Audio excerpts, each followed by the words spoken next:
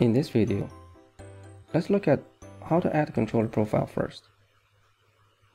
Enter Controller Profiles tab. Click on Add Profile.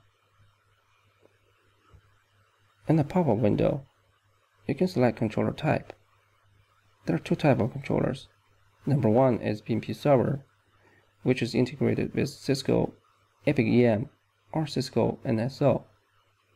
The second option is VRTLAN controller, which is used for Cisco access point management. Let's go ahead and select PnP server. Then click on Next. In the profile setting page, you are first required to enter the controller profile name, such as PnP-marketing. Under primary controller sections, you can use either FQDN, IPv4, or IPv6 to identify this controller. Let's go ahead and select IPv4. For transport protocol, you can use either HTTPS or HTTP for the connection to these controllers. Let's select HTTPS. Then you can enter IPv4 address for this controller. You can also leave port 443 as a default port for HTTPS connection.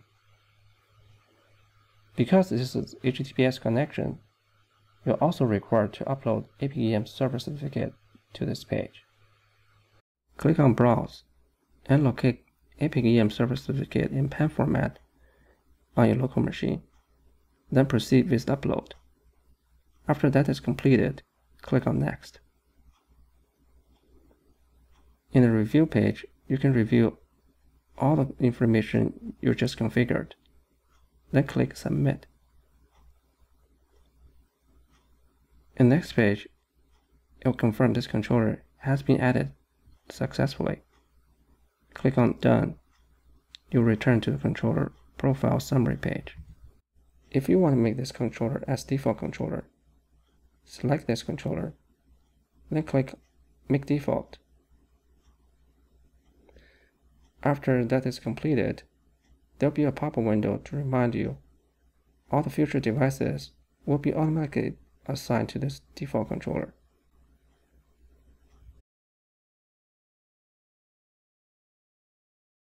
Now, let's assign controller to the device.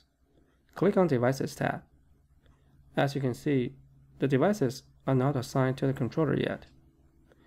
Let's use ISR4221 as an example. Go ahead select this device. Then click Edit Selected. In the next page, under Device Property, go ahead select Controller Profile. Then select PnP-marketing controller profile we just created. Then click Apply.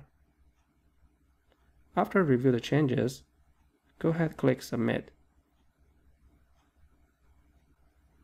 After returning to the device summary page, you can see PnP-marketing controller has been assigned to this device, and the device status become pending for redirection.